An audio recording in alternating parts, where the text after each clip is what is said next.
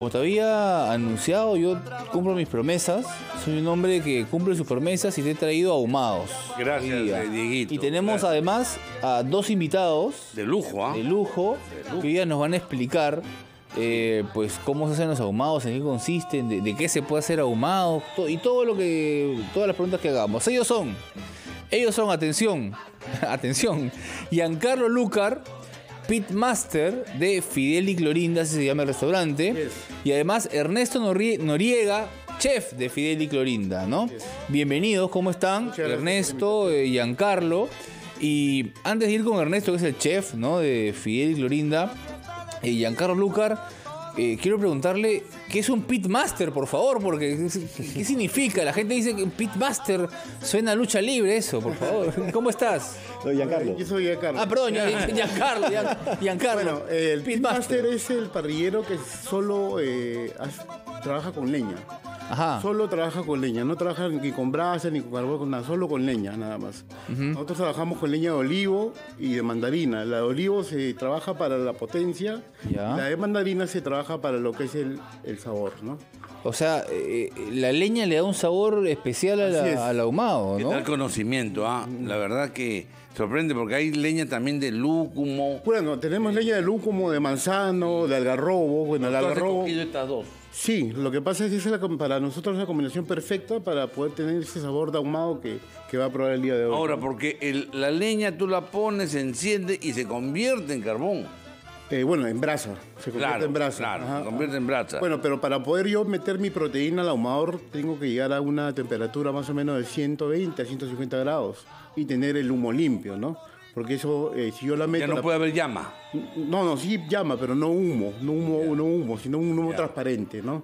Algo que, que te ayude a que la proteína se haga bien. Full conocimiento, ¿ah? Full, full conocimiento de, de causa. De causa. o sea, de causa de, de- de ¿Se puede ahumar una causa? ¿Ah? ¿Se puede ahumar una causa? No sé, a ver. Todo pero- se puede ahumar. Todo se puede Todo, ahumar. Podemos hacer postres, podemos hacer pescado, se puede hacer Claro, todo. Es y un horno este, rústico con, con- de, de metal, con, o sea, se trabaja con leña, pero les puede meter lo que usted quiera. Nosotros amamos nuestros ajos para las cremas. Y hemos escuchado por ahí una vocecita, ¿no? De, de Ernesto, ¿no?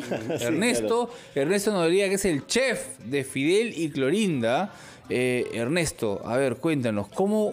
que- primero, describamos por nuestros oyentes, porque nos escuchan en todo el Perú, que a través nos ven a través de la multiplataforma, pero nos están escuchando.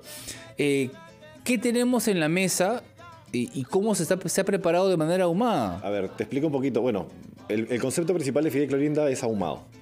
Y para explicarles un poquito sobre el ahumado también tenemos que ahumar siempre con eh, lo que son eh, maderas que no son resinosas. Entonces siempre tiene que ser eso. Eh, segundo, temperatura baja.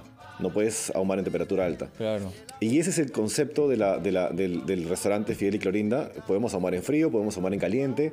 Hay dos técnicas de, de ahumado y se puede ahumar cualquier cosa. Una causa ¿Cómo, la cómo puedo en frío y en caliente? O sea, en frío la causa, por Sí, ejemplo. lo que pasa es que siempre es fuego indirecto. O sea, Ajá. no puedo, no es, es un fuego que yo luego genero acá, genera humo, pasa a través de un tubo y el tubo va al horno para calentar. Entonces, el- la proteína queda en, en el, en el- en Ah, el horno mira. y ahuma, solamente ahuma. Y es una Todo un técnica- sistema. Es que hace, por ejemplo, te digo, hace 80 años no existía el frío.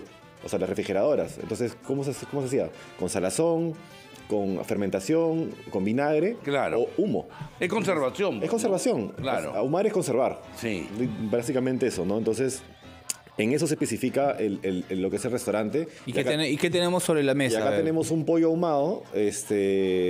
Que se ve un poquito, un poquito. A diferencia del pollo a la brasa, por ejemplo, Ajá, a ver, la diferencia es la que es un brasa va más- directo. O sea, la grasa Ya. del pollo va cayendo en la brasa y la brasa genera este humo Ya. por, por acción de, de combustión por la grasa y, y genera humo, ¿no? Pero se ve es, el pollo, ve, mira. pero es calor. Toda pantalla. El Sí, pollito que se ve un poquito. Es por el ahumado que es un poquito más así como que. Lo deshidrata. Sí, carnoso, sí, ¿no? sí, claro. se achica un poco. Se- se deshidrata un poquito. Sí, pero, pero es igual de sabroso. O sea, Es mucho, mu- más, mucho más sabroso. que el- que el- o sea, Oye, lo, que, que- lo que lo, lo- lo que pierdes en lo del pollo a la brasa que pierdes en un mon- en cantidad, acá lo ganas en sabor. Claro, Muchísimo. porque estás hablando que Hay un, pollo- tema, hay un tema controversial con respecto a eso, porque Ajá. mucha gente dice, aquí Está flaco. Te- sí. Ah, no, y te queda rosado. Entonces tú dices, pero Ah, está sí, crudo. está rosado, sí. No, no Rosado está el crudo. El rosado es por el humo que genera, entonces Ah. está rosadito. O sea que podríamos ahumarnos nosotros, digo, y parecer más, más, más flaquitos. Es, verdad, estamos es gordos, una buena, es una buena idea. ¿ah? Sí, sí. Ese No se llama estamos helado de gordos, humo. estamos, estamos inundados. Exactamente, ¿no? Y eh, cuando, cuando bajemos de peso, nos hemos ahumado. Sí, pues, Claro. Y salimos bronze. Pero también, ¿qué veo por allá? A ver, Allá, allá hay una cocción larga, que es la bondiola, se cocina muchísimo tiempo y termina siendo pulled pork. Ya. Es el pullet porque se, se, se desmecha. deshilacha, se desmecha. Son mechas. Que- y la otra es una costilla que también cocina baja temperatura a largo tiempo, ¿no?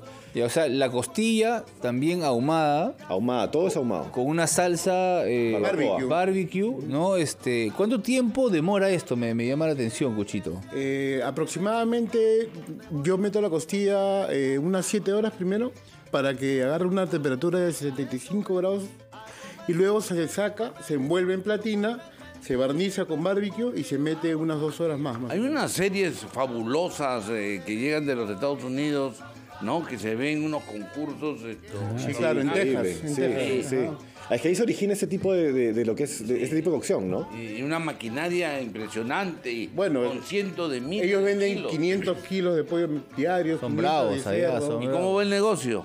Bien, gracias a Dios, felizmente ahí andando, felizmente todo Es bien. una constante lucha, pues, ¿no? Sí, Aquí sí. Estamos en el restaurante, es todos los días, es un restaurante, es, es un negocio del día a día. Vamos a eso. ¿Dónde encontramos Fidel y Clorinda? A ver, ¿dónde los podemos encontrar? ¿Dónde podemos co- eh, comer este rico pollito ahumado? Esa costilla ahumada eh, con su barbecue. ¿Dónde los encontramos? ¿Dónde podemos ir a comer rico? Eh, bueno, nosotros nos encontramos en la Avenida República de Panamá 4234. Este, para que se guíen un poco, si vienen de acá, eh, de Aramburú a la mano derecha, bajas por República de Panamá, pasas Domingo Orbe, eh, a media cuadra estamos ahí nosotros. República de Panamá. O Ay. por el olor llegas también. Por el olor. ¿De verdad? Es verdad, siguiendo el olor, ahí ya está el ahumado. Claro, ¿no? Eh, ¿Ves ahí el, el- El humito. Donde sale el humo. el humo? Eh, Donde sale el humo ahí Nosotros- es- no es un incendio, están ahumando. Horario, horario. Los horarios son de 12 de la mañana hasta 10 de la noche y los domingos de 12 a 6 de la tarde. Sí, y pronto van a poder encontrar novedades también más peruanas, este, teniendo con la tendencia ahumada también. Ahí está, fusión, la, la causa. Un poco No, de no. Criollo. pide causa. Un poco este, criollo. Pide causa, No, sí. Cucho. ¿ah? Perfecto, muchísimas gracias realmente eh, a Giancarlo Lucar, Pitmaster, ya nos ha explicado lo que es el Pitmaster de eh, Fidel y Clorinda, Ernesto Noriega, chef de Fidel y Clorinda, que nos contaban que es por los papás, ¿no? Por su- Sí, los bueno, papás. es en honor a mis padres. En honor a los padres. ¿Y hay tiempo para que den sus redes o no? Rapidísimo, Claro, bueno, rapidísimo, hay tiempo en- rapidísimo. En, TikTok, en, en Instagram, en Facebook, como fidelquerolinda.com. Perfecto, muchísimas gracias a los dos por venir. Gracias, vamos a ir a, a probar de todas maneras este el ahumado. Y nos vamos a los cuchitos, Cucho. Eh, Cuchitos, estamos en eh, Malecón Grau 731 Chorrillos. Nos vamos directo para allá. Al Malecón, ¿ah? ¿Y sabes también a dónde nos vamos? ¿A dónde? A escuchar el gran resumen de la hora Uy, uy, uy. porque ya son 12 con 2 minutos y regresamos con eh, Siempre en Casa. Mi nombre es Diego Pajares Cerrada. Quédate en sintonía de RBP, la voz de todo el Perú. Yo le vi